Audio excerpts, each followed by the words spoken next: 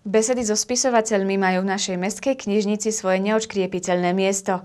Tento raz do nej zavítala návšteva z Prešova a potešila tak nejedného malého čitateľa. Spoznávate ju? Takto nejako vyzerá jedna z najobľúbenejších detských spisovateľiek Gabika Futová očami detí.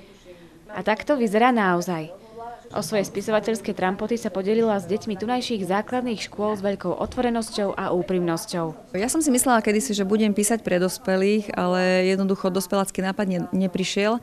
A keď som dostala nápad na, na knihu Naša mama je bosorka, tak vtedy som pri tom písaní zistila, že práve písanie pre deti je pre mňa to práve orechové. V hre som ostala len ja a Barbara. Medúza, vyriekla Barbara. Motýl, rýchlo som ju nasledovala. Barbara sa však nedala. Maska, vyrkla. Mrzlina, vyslovila som sebavedome. Mrzlina? Začudovala sa pani učiteľka. Také slovo neexistuje, je mi ľúto Klárka, ale dnes to vyhrala Barborka. Deti ma neskutočne nabíjajú, pretože uh, už roky sa pohrávam s myšlienkou, že by som prestala písať, lebo niekedy je to únavné, že je to veľa povinností okolo toho a tým, že človek chodí aj do práce a, a má svoj život. Lenže potom idem na besedu a tie deti sú také úžasné, že prídem domov a zvyčajne vtedy som taká, taká nabitá, nadúpaná, že sa mi veľmi chce písať. A práve u detí nachádza táto spisovateľka aj veľkú inšpiráciu pre svoje knihy to, čo deti dokážu vymyslieť, tak to nevymyslí žiadny spisovateľ. Takže naozaj niekedy len stačí počúvať hlavne rodičov, čo rozprávajú, čo sa u nich doma deje, po prípade pani učiteľky. Pani Futová má sama doma dve deti, s ktorými zažila nemalé dobrodružstvá.